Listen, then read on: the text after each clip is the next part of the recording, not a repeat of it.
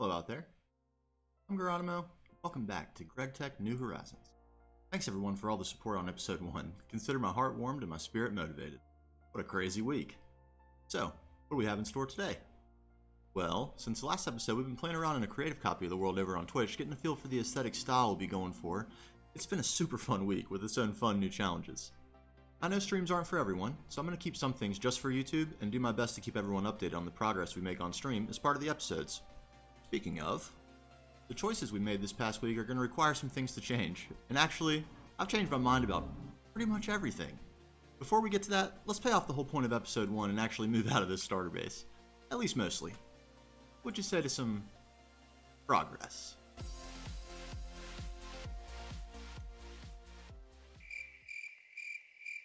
Uh, this is not gonna do. This ought to do the trick. Now, where were we? All right. Progress.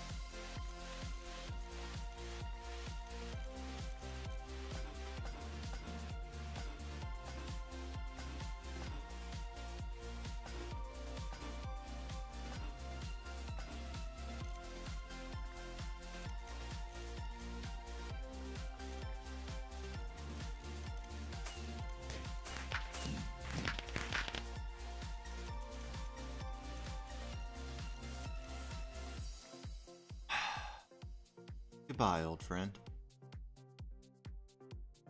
And hello, potential.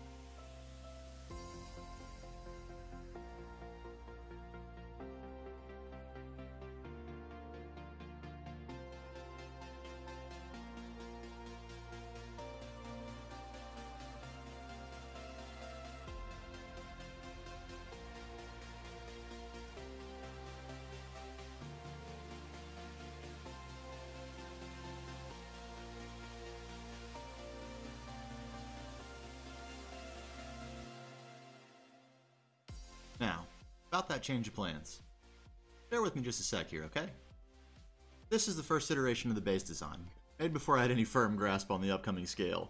There are a few things that did make it to the final design, like the little area for distilled bees and the fuel generation right below that, but the base we're working with doesn't look much like this. In version 2, it's a little closer to what exists in the world, right? Especially this part. But after I sat on the plan for a few days, it started to feel too symmetrical for me to spend the next 1 to 2,000 hours in, though the symmetry does have advantages. So here's where we landed. More like a campus, with plenty of space in between builds to develop atmosphere, space to expand, playing into the terrain, and the shape of the landscape. I'm feeling super pumped about this design. It's going to let us put the whole biome to use. That's going to be important. Because when we went to the end during the live stream last week, we didn't come back alone. Here's a quick clip from one of last week's live streams to set us up. It's like the thing that... Here it is. The energy absorber. This is like a free amp of EV power. We could just give it the Dragon Egg. That's pretty ridiculous.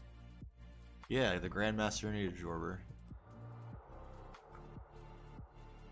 I mean, how, that seems silly not to use, right?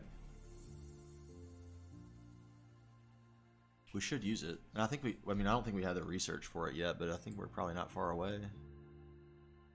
Artifice. I bet it's a and dragon eggs from. Oh my goodness, yeah, that's that is crazy. I hadn't thought about that. We were so preoccupied with whether or not we could, we didn't stop to think if we should.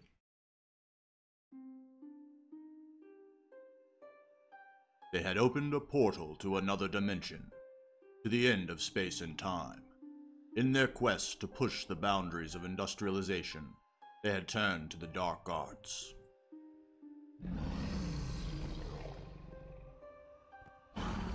Their fate was already sealed.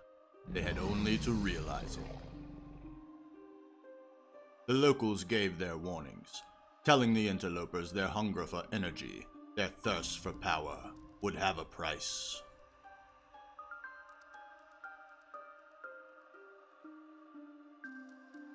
They didn't listen. They slayed the guardian of the portal. Direct. Yes!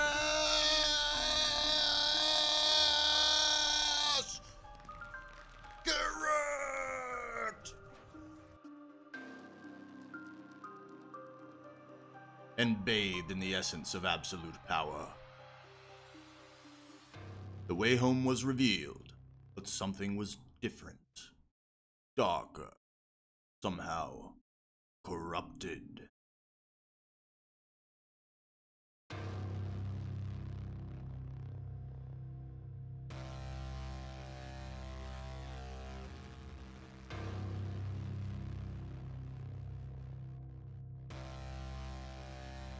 The Earth had taken notice, and it was fighting back.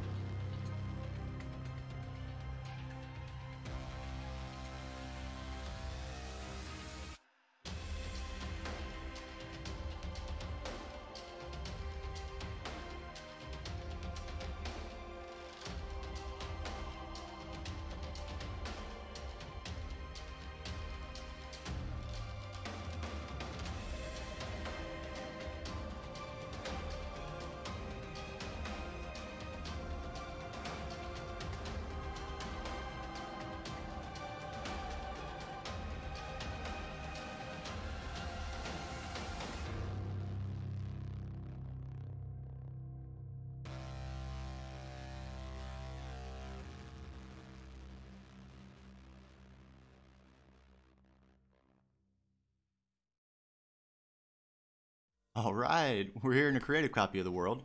Spending a lot of time here, and I'm really, really excited about how it's turning out. I just couldn't help but lean into the lore a little bit. Hope you enjoyed that. Everything here is just for ideas and inspiration. Nothing is signed and sealed or in its final spot, but this notion that we push technology too far and the Earth is striking back is one I really like, especially for this pack. Let me know what you think and comment below. What's the one word that comes to mind to describe this? It'll help me gut check how well the vibe's translating. Now, in order to build this out even close to how we're turning in creative, we need to start by investing in some more industry. I decided to solve the glass problem with the good old-fashioned forge hammers. All that is LV, just added to our lathe setup since we had plenty of cobble there. Something tells me the further we push things, the more harshly the world will respond. Hopefully the earth doesn't mind just a little more tech, but I'm already paying for what I've done since I haven't found a way to automate biomes of plenty trees at all, and that's basically all I'm using here. No grind is too great for this project though. I'm up for it. You know what I miss already? The steam oven. It's probably past time for the multi-smelter anyway. There we go. We also need the Celestis bee, or we'll spin ourselves out of house and home trying to get neon strips. This is the breeding path. We have a couple of these at the bottom already. Iron, copper, tin, and peat. I used the rower bee after all, if you remember that from episode 1. But there's a bunch more work left to do here. That's something we'll definitely tackle this week. I just can't wait to start this project in survival. You might also notice some upgraded bags. Well, there's a little bit of a story with these. Let's take a look.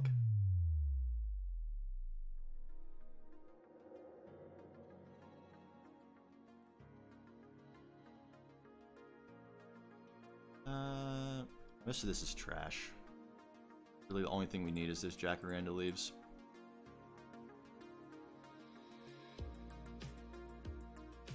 Good, empty.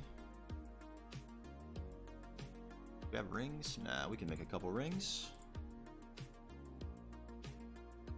We do have tan leather, great.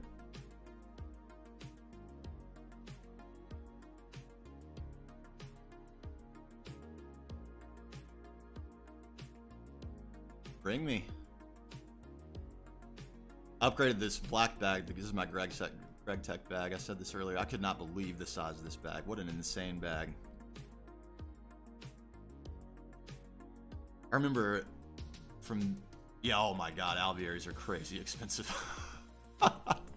but after a while though, at this point they'd be very inexpensive for me to craft because I have so much honey um, and seed oil's been going for so long.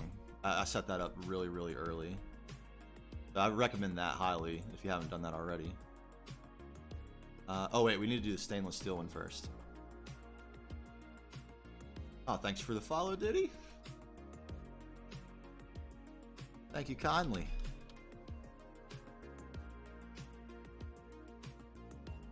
Alright, that's the one. Oh no!